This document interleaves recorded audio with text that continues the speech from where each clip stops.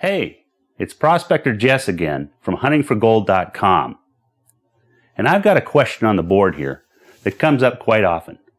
Where does gold go during a storm?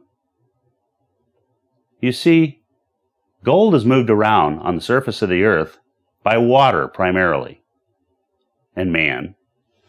But the big focus here is going to be on water because what we're looking for is where the gold moves from lode, which is the host rock, into the stream beds to form nuggets and coarse gold deposits as well as flour.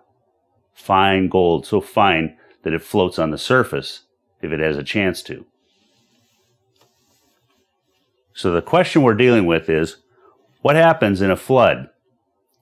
And what should I do and what should I look for when I look at a stream bed to understand where gold will be? Because that's what you want to do. When you find gold, you find where gold will be. You want to dig into that and pull out the gold. Because it's not just about hunting for gold, it's about finding gold too.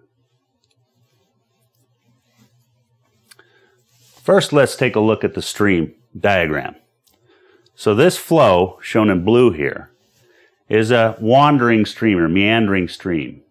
Now, streams have meanders. Some streams just have jagged rocks because they're coming down steep inclines. Each stream has its own fingerprint, and you want to follow that fingerprint to understand where gold is going to go. But to start with, let's just take a look at flow in a curvy basin, okay? And that'll get you some ideas. Hey, it's Prospector Jess here. If you want more videos like this, make sure you go on over to hunting4gold.com. That's hunting, the number four, gold.com, where we have additional videos for you only available on hunting4gold.com site. Check it out and good prospecting.